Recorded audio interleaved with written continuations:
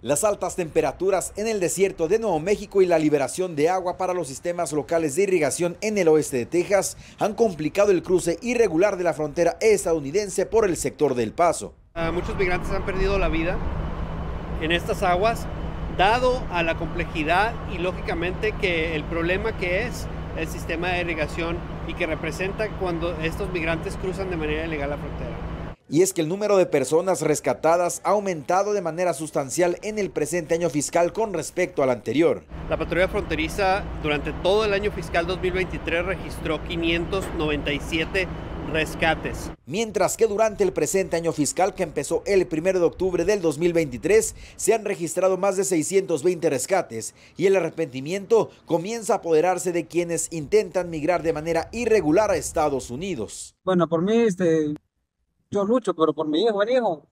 Por él es que yo a veces este, me arrepiento de venir a haber, haber venido aquí. Los migrantes tienen claro cuáles son los riesgos de buscar un ingreso ilegal al país. En el desierto, te comen los coyotes, te quedas sin agua, y ahora si cruzas por el río, pues te ahogan. Pero no todo es desalentador. Los rescates han evitado que el número de fallecimientos por deshidratación o ahogamiento desciendan.